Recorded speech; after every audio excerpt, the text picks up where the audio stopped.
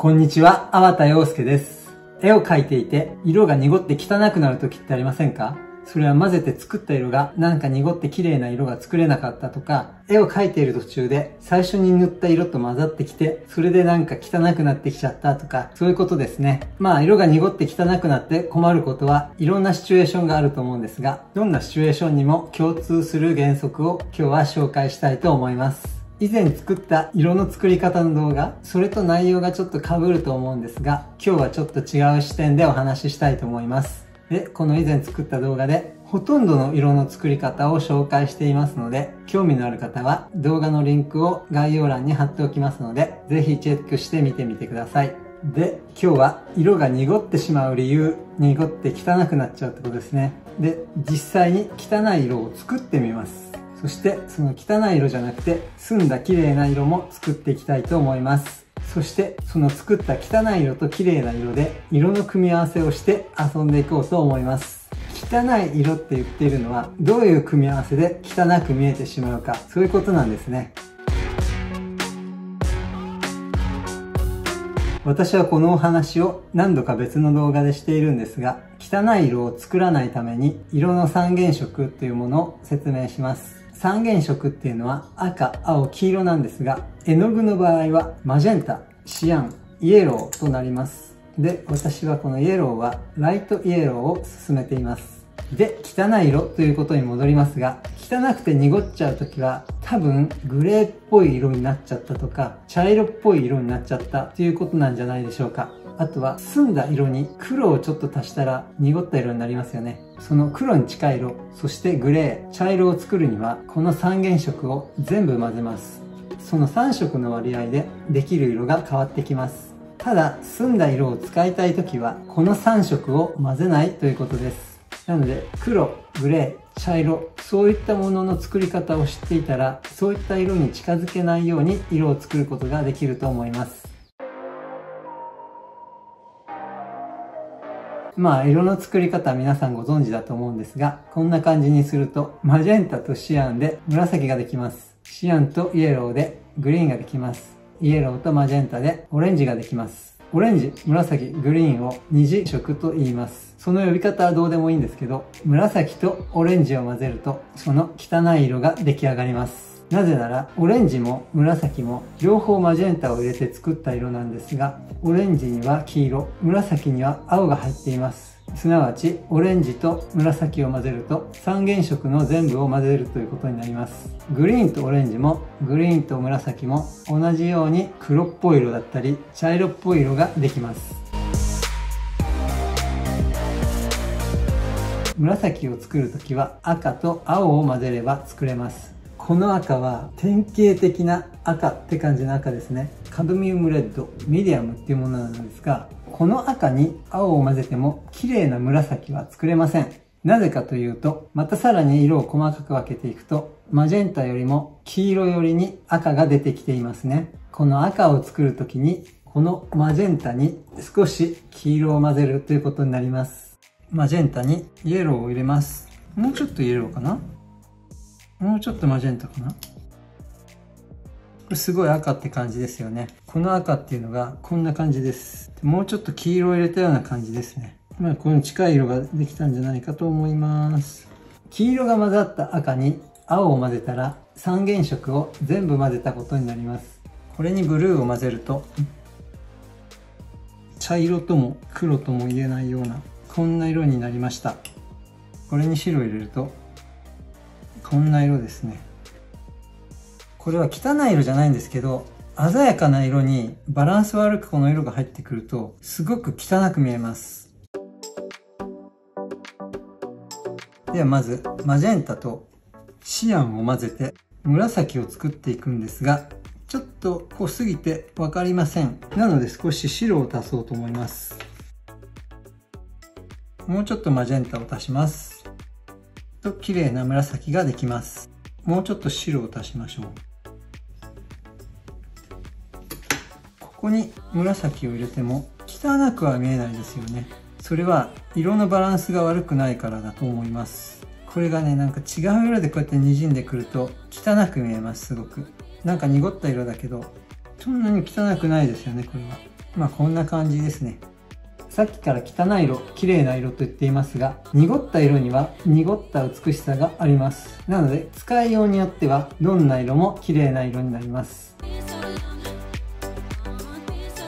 これはマジェンタですね。それに白を入れます。そうすると、すごい綺麗なピンクが出来上がります。綺麗っていうか、鮮やかっていう言葉を使います。赤と白でピンクになるんですが、この赤に白を混ぜると確かにピンクにはなるんですが、このピンクに比べるとちょっとくすんだようになります。これはマジェンタよりも黄色寄りなので、こういう感じのピンクになります。これはこれで綺麗なんですが、こっちの方のピンクを期待してると、このピンクっていうのはくすんで見えます。このライトイエローですね。それにブルーをちょっと足します。ほんのちょっとです。すると綺麗なグリーンができます。もうちょっとブルーを足しますね。こんな感じのグリーンになります。もうちょっとブルーを足すと濃いグリーンになります。ただグリーンの場合はちょっとマジェンタを入れることによって濃いグリーンが出来上がるんですが、これを混ぜていくとね、途中まではいいんですけど、だんだん濁った色になってきます。こんな感じの色になりました。ここにブルーを入れるとこんな感じになりますちょっとモスグリーンみたいな色ですね黄色とグリーンの間にあるライトグリーンライムグリーンみたいな色が出ていますがこういう色にするにはシアンとライトイエローを入れた方が透き通ったグリーンになります。このライトイエローですね。ミディアムのイエローですね。なんか普通の黄色って感じですねこれが。実はこのイエローを作るのにちょっとマジェンタをライトイエローに入れるとこれに近い色になります。これに近い色にするには、ライトイエローにマジェンタ、赤系の色を混ぜた色ということになります。これに、このシアンを混ぜると、こういう感じで汚くはないんだけど、こういう地味なグリーンになります。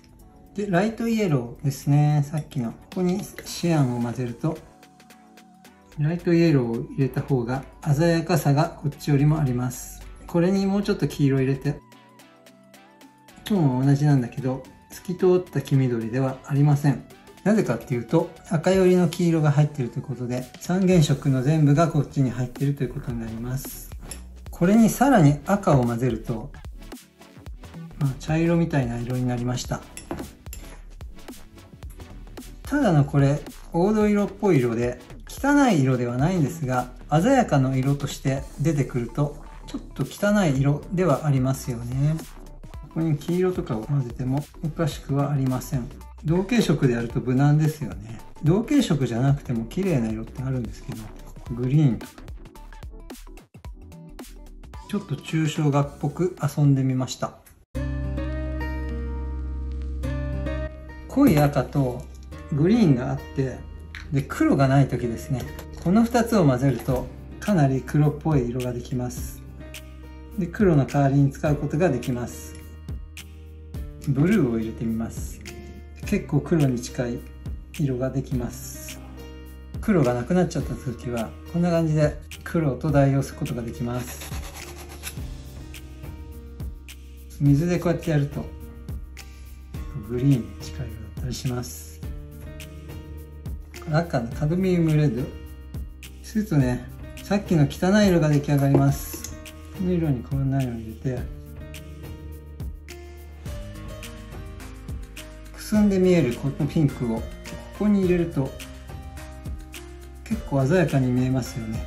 ちょっと合わせようによってはものすごく汚く見える色なんですが汚いな。ぐじゃぐじゃ混ざっちゃうと汚いですねこれね。こんな感じの筋が鮮やかに見えます。赤のがいいな。こんな感じで線を入れてみました。それでですね今度は鮮やかな色を塗っていこうと思うんですがピンク。これもピンクなんですが筆にこういう色とか違う色が残ってたりすると塗ってる時にそれが垂れてきてそれで汚れちゃったりすることもありますよね。なので筆はよく洗うことが大事です。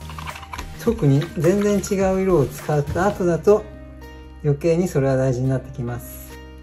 白とかそういう色をこうやって周りに。白だったらね混ざってもピンクのまんま。さっきのピンク。濁ってますね。でこの濁った色を ここに入れて。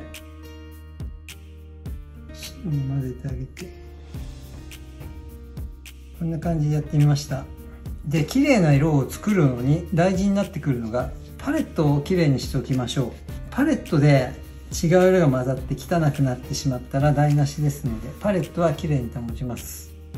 で黒に近い色の作り方を紹介したんですが最後に簡単に3種類の茶色の作り方を紹介したいと思います。マジェンタシアンイエロー。この3色で違う茶色を作っていこうと思います。これを少し。この2色で赤が強かったですね。これを少々入れるとちょっと焦げた茶色ですね。今度は黄色を多めに入れるとね。黄色を多めにすると今ね青も多めなんですよ。ちょっと赤をこんな感じのさっき作ったような茶色ですね。こんな感じの色になりました。黄土色っぽい色ですね。これが焦げ茶だから赤茶みたいの作ってみましょう。赤を多めにしてちょっとだけこれを入れて赤と黄色もうちょいだな。黄色をちょっと足すとなんか赤茶色ができました。この3つの茶色があるといろんなバリエーションで絵を描けます。これをちょっと混ぜてあげてももっと茶色っぽくなると思います。こういう感じですね。